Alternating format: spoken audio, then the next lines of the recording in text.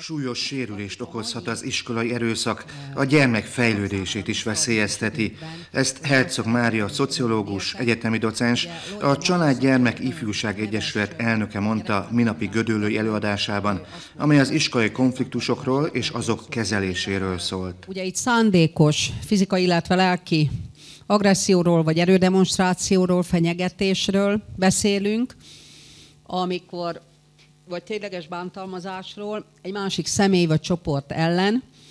Az iskolai erőszak általában szerencsére nem végzetes kimenetelű, de súlyos sérüléseket okozhat, és nagyon súlyosan veszélyeztetheti az érintett gyerekek fejlődését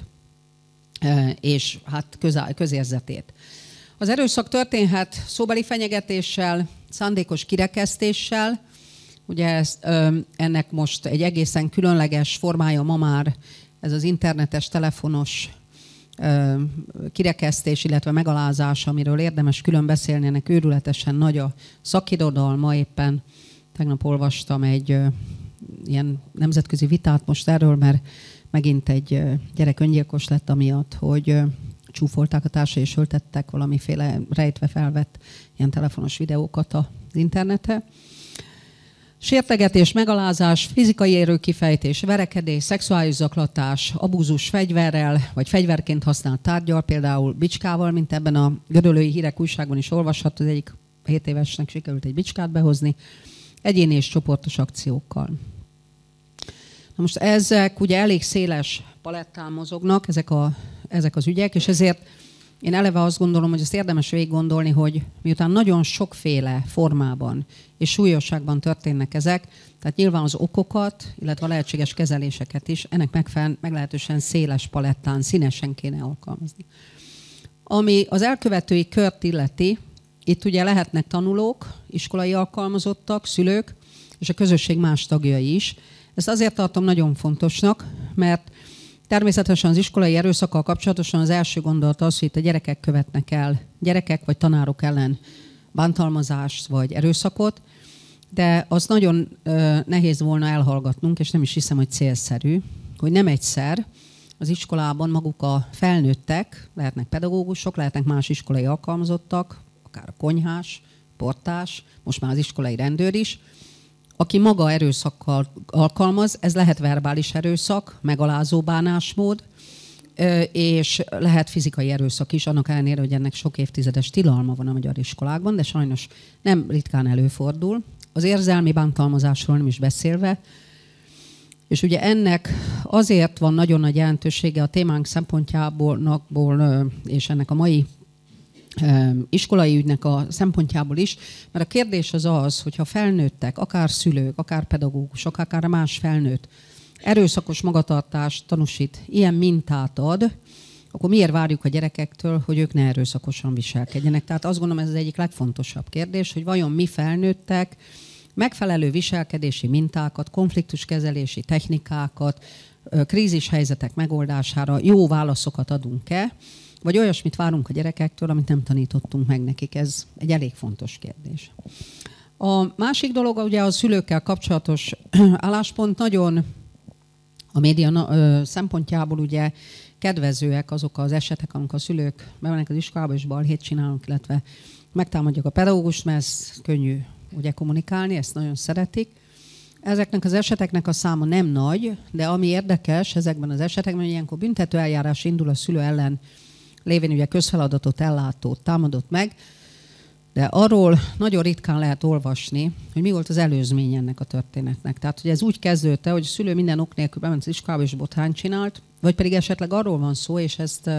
érdemes végig gondolni, hogy tehetetlennek, eszköztelennek, és megalázottnak, bajban lévőnek érzi magát, akivel nem úgy beszélnek és nem úgy állnak szóba, hogy valamilyen módon partneri kapcsolatba tudna lépni. Ez akkor is igaz, ha ő egyébként nagyon támadólag lép föl, és azt tudjuk, ugye, hogy a legagresszívebb viselkedés mögött is általában félelem és szorongás van, csak azt kell leplezni azzal a hihetetlen agresszióval, ahogyan sokan viselkednek. Dr. Herzog Mária felhívta a figyelmet arra, hogy az iskolai erőszak szorongást, félelmet, kiszolgáltatottságot okoz. Az iskolai erőszak nem függ az anyagi helyzettől, fejlettségtől. Ez például Svájcban, Svédországban, Németországban is gondot jelent a 13-17 évesek között. Nemzetközi kutatások szerint a fiúk általában direkt módon fizikai bántalmazást követnek el, a lányok indirekt módon manipulálnak, hetszelnek, szóban sértegetnek. Herzog Mária szerint fontos, hogy a passzív elszenvedők is, akik például látják az iskolai erőszakot, segítséget kapjanak, különben könnyen áldozattá vagy elkövetővé válhatnak. Hogy a legerősebb védőfaktor akár egyéni családi szinten, akár az iskolában, az az erőszak és az erőszakos viselkedés elutasítása, együttműködés, megállapodási szándék és képesség. Ez azt jelenti, hogy a, nem a gyereket utasítom el, és ez nagyon fontos, hanem magát az erőszakot. Tehát nem a gyereket rakom ki az osztályból, az iskolából, nem a gyereket utasítom el, és mondom azt, hogy te belőled semmi nem lesz, mert egy gazember vagy, egy semmire kellő, hanem azt mondom, hogy te egy nagyon klassz gyerek vagy, de ez, az el, ez a magatartás, amit tanúsítasz, ez elfogadhatatlan, ezért ezen változtatni kell. Meg kell néznünk, hogy mi történik, miért viselkedsz így, mi történt, hogyan lehet ezt megoldani, és hogyan lehet majd a jövőben elérni azt, hogy te is be tudj illeszkedni ebbe a közösségbe, és együtt tudjál működni a többiekkel, illetve a többieknek is meg kell tanulni ezeket az együttműködési formákat. Most nyilvánvalóan azok a gyerekek, akik olyan családi közegből jönnek, ahol nagyon erős a támogató személyközi kapcsolat, ahol a gyerekek elfogadás, szeretetet és respektust észlelnek, az a gyereket, ahogy mondani szoktuk, ugye vízállóvá teszi, tehát attól reziliens, ellenálló képes, nagy ellenálló képességet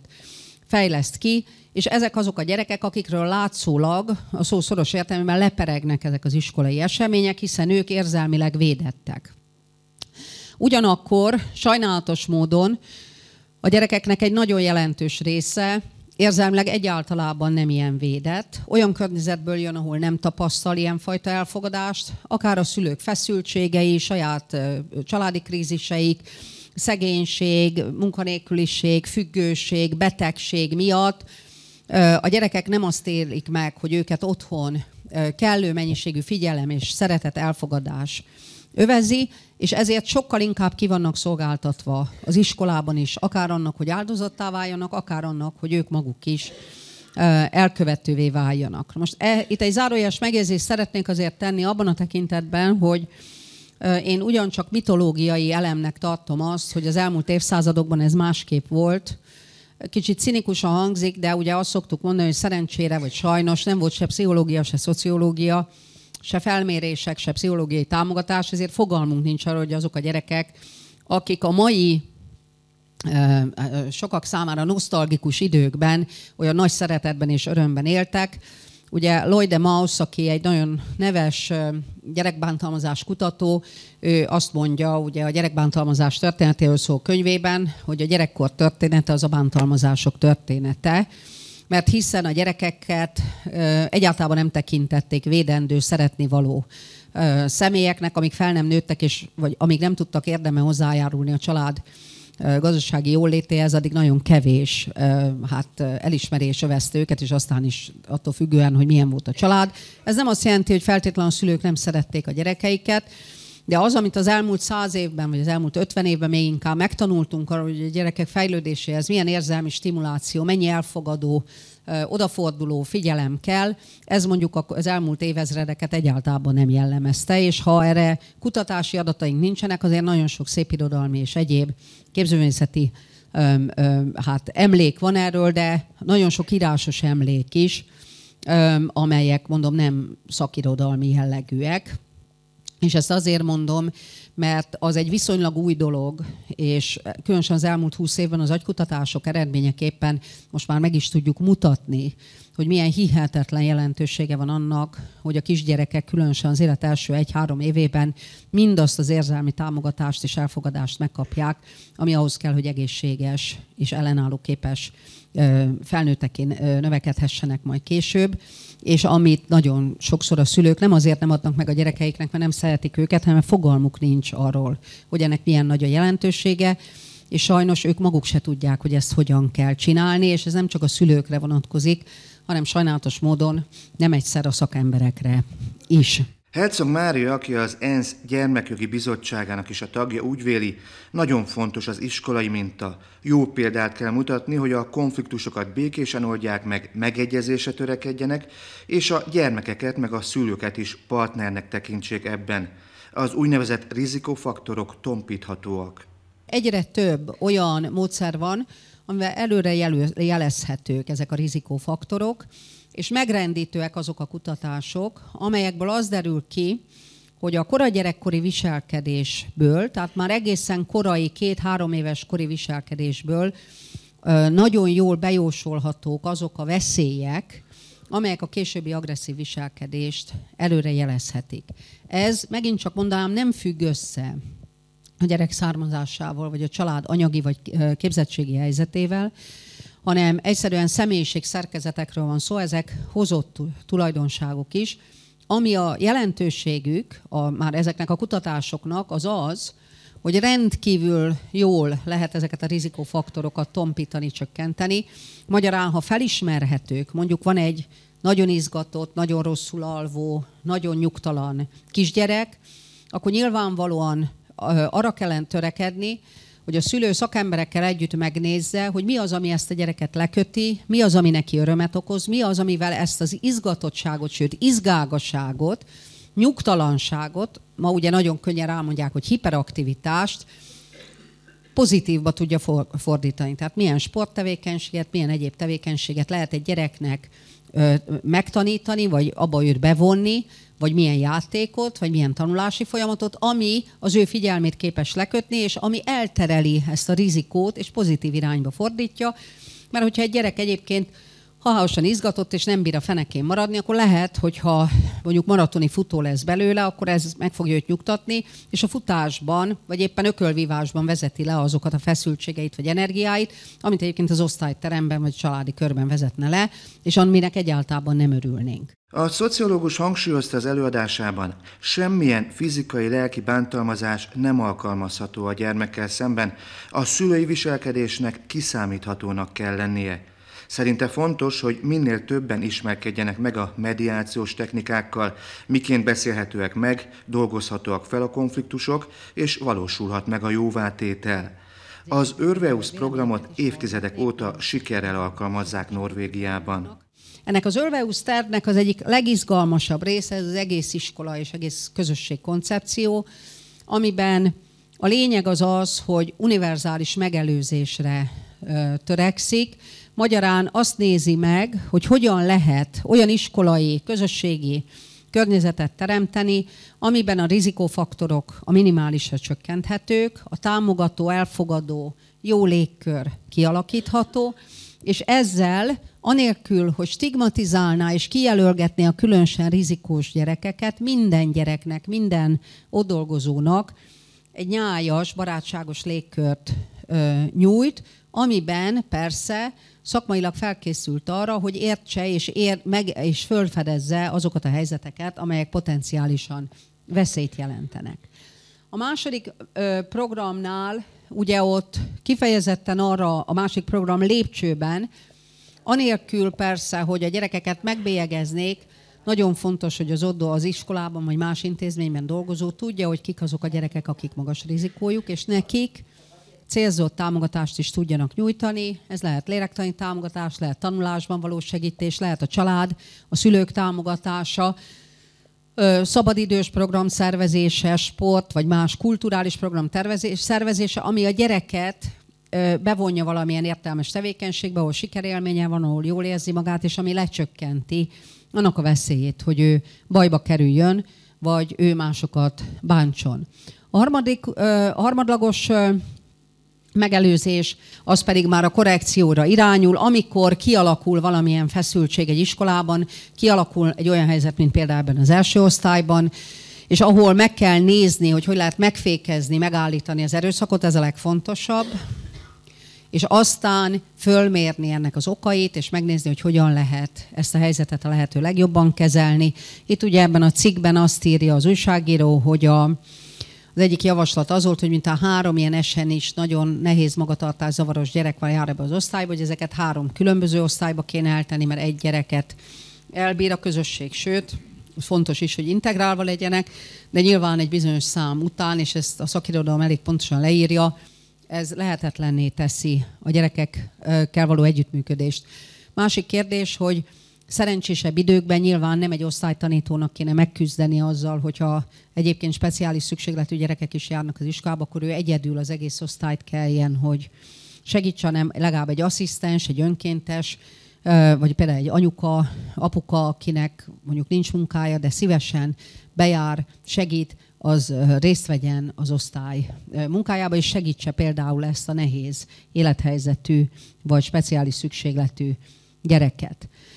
Most ami nagyon fontos, hogy ezek nem adhok intézkedések és ötletek, hanem ezt az egész iskolai közösségnek, az egész tantestületnek,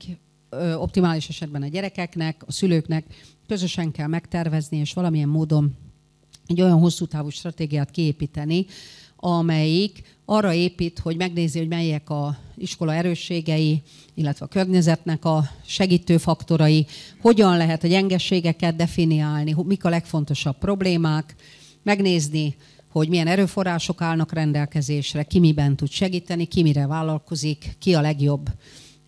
adott program véghezvitelében, és akkor ezeket a programokat megtervezni és kivitelezni azért, hogy az erőszakmentesség megteremtődjék az iskolában. Ezek, mint említettem, nem egyik napra a másikra történnek, de nagyon látványosan és szépen lehet velük dolgozni. Van egy olyan angol város, egy nagyon hátrányos helyzetű angol város, Hallnak hívják, Hullnak írják, amelyik hát ilyen nagyon deprivált, nehéz szociális helyzetben lévő családokkal van tele, ez egy halász település ott tradicionálisan, de megszűnt a halászat és a halfeldolgozás, és nagyon nagyon-nagyon magas volt a munkanélküliség, és nagyon sok volt az agresszió. A gyerekek nagyon nagy számban maradtak ki az iskolából, az utcákon randalíroztak, futballhuliganizmus volt, mindaz, amit ismerünk a, az ilyen nagyon lepattant el, tönkremenő és határán lévő települések, illetve gyerekcsoportok esetén és valamilyen véletlen folytán a, a városban néhány szakember részt vett egy olyan képzésen vagy konferencián, ahol ezeket a helyreállító technikákat, konferencia technikákat, tettes áldozat mediációt, mediációtról számoltak be, és beleszerettek ebbe a dologba, és meg tudták győzni a város vezetőit arról, hogy az egész városban ilyen restauratív várossá váljanak, ez volt a célkitűzésük, minden szakembert, a legkülönfélébb területeken dolgozókat kiképeztek, a szülőket bevonták, a gyerekeket bevonták, és valami egészen elképesztő látványos javulás állt be. Az iskolai kimaradások lecsökkentek, az évismétlések, a fiatalkori elkövetés, a visszaesések, a randalírozás, több mint három negyed éven lecsökkent a városba, és megváltozott az egész városnak a hangulata. Nem lett több munkahely, nem lett vidámabb abban az értelemben az élet, hogy a szociális problémák nem oldódtak meg, de a gyerekek kaptak egy esélyt, és az egész városban egy élhető közösség alakult, ahol az emberek szóba tudtak egymással állni, nem kellett félni, ez most is megy ez a program, és most ezek a szakemberek már járják a világot, és én is így hallottam erről egy, találkoztam velük egy konferencián, és nagyon izgalmas filmeket és mi egyebet csinálnak erről. Tehát nagyon érdekes, hogyha van egy nagyon, ha van egy szándék, ha összecsomósodnak ezek a vágyak, hogy itt megoldani kelljen, és ne élezni a helyzeteket, akkor ezt meg lehet csinálni. Itt, amiről beszélünk, ez nagyjából ilyen típusú munka. Herzog Mária szerint szülőknek, tanároknak is meg kell tanulniuk az erőszakmentes kommunikációt, és azt alkalmazniuk is kell. Nagy örömmel várom a kérdéseket, hozzászólásokat, és köszönöm a figyelmet.